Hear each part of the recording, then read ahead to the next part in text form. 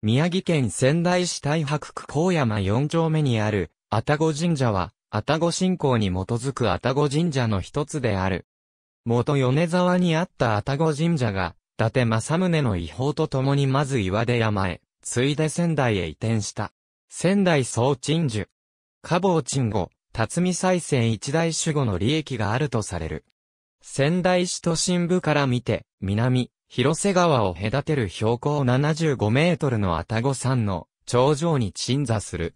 主たる祭神は、火の神である、カスグル道人。他に、アマテラス大臣、とゆけ大見は、大物出身、大山食い神、大国出身、早玉大神、イザナギの、イザナミ、他三神を祀る。神仏分離以前は、普賢菩薩を祀っていた。普賢菩薩は立つ、身の方角を守護し、そこから辰年、見年生まれの人を守護するとされる。辰巳再生一大守護は、この信仰による。愛宕山は、仙台の南にある東西に長い山である。山の名は神社に由来し、それ以前に何と呼ばれていたかは不明である。南のふもと、大都市寺山との谷間には、中世に街道が通っており、正確な位置は不明だが中腹に、愛宕山京塚が築かれた。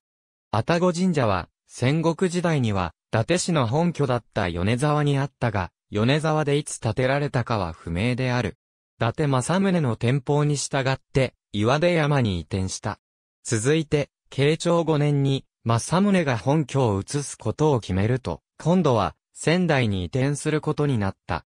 伊達市に従って転々としたのは、愛宕神社ばかりでなく、多くの寺社と町が移転して、仙台城下町に土地を割り当てられた。愛宕神社は、まず慶長8年に荒牧村に仮に遷座し、同年中の社殿完成を待って、当時の城下町の北東、現在の宮城県庁舎付近にある元寺工事に移った。別当寺としては、米沢の頃から聖願寺が置かれ、神社と移転を共にした。慶安3年に、伊達忠宗が、愛宕山に新しく、神社を建て、聖願寺と共に、ここに移した。同じ年に、国蔵堂も京が、峰から、愛宕山に移ってきた。愛宕神社には、神領として五巻720分が与えられ、聖徳5年に、伊達吉村が、祭り殿30国を加えた。神社には、慶長8年の伊達政宗による、造流、慶安3年の伊達忠宗による、増流、元禄7年の伊達綱村による修復を記す、計3枚の胸札がある。現存する本殿、社殿の建築技法は、元禄年のものとした方が良さそうで、綱村の時の修復も実は心臓だったのではないかと言われる。また、神社に残る、大絵馬、源頼政ぬえ大地図と、牛若丸剣道修行図は、享保9年11月24日に、伊達吉村が奉納したものと推定される。年代が明らかな江戸時代の大絵馬には他に、天保14年の柔術免許会伝図、慶応4年のイノシシのりカラス天狗図がある。カラス天狗の絵馬は、伊達市の武将片倉重長が、大阪の陣で先行を立てた時にカラス天狗を夢に見たことにより、片倉氏の子孫が奉納したものである。江戸時代の愛宕神社は、普賢菩薩を本尊として、合わせ祀っていた。辰巳再生一大仕事は、八大菩薩を十二支に割り当ててその年の生まれの人を守護するという森本武の信仰に基づく。普賢菩薩は十二支の辰年と、見年生まれの人を守護することになっている。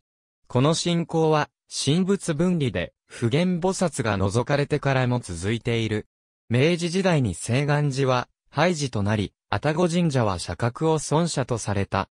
神社合祀政策によって、近隣と仙台市内のいくつかの神社を合祀したが、一部は後に服した。元は、吹きで、本殿、社殿ともたびたびの吹き替えを要したが、1952年に、三河原武器に改めた。1970年に、拝殿の後ろに平殿を接続した。平殿から本殿へは屋根を差し掛け、接続のため本殿の浜園を取り払った。本殿の普及が著しくなってきたため、2000年から2001年にかけて、半解体修理を実施した。総工費9400万円の半額は、仙台市が補助した。この修理では、以前に撤去された浜園を復元し、平殿の屋根を取り払って1970年の修理が本殿に与えた影響を除いた。元は、木肌が出ていた本殿の外装には、新たに黒漆を塗った。また、瓦吹きを止めて、こけら吹きを模した形になる銅板吹きに改めた。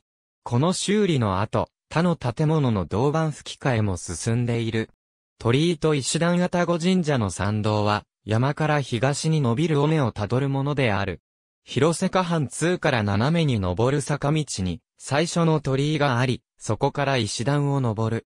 石段が初めて作られたのは、天明元年のことだが、後に1923年と1929年に作られた。登り詰めたところに、平成18年に作られた新しい鳥居がある。